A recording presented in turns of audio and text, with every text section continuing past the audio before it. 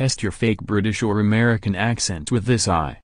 If there's one thing most people probably don't struggle with, it's figuring out whether they sound more British or American. But if just one person isn't sure, then the creators of an eye which does exactly that will have done their job. Cambridge Consultants, the company that brought us an eye that paints amazing artwork, has a knack for making what it calls explainable eye. Along with much more serious work, its developers make fun little use case scenarios for artificial intelligence that are easy to understand. With this project the company asks can we decode your accent? The website tasks users to speak a phrase and then, using the power of accent classification through eye, it rates your accent in percentages of American and British.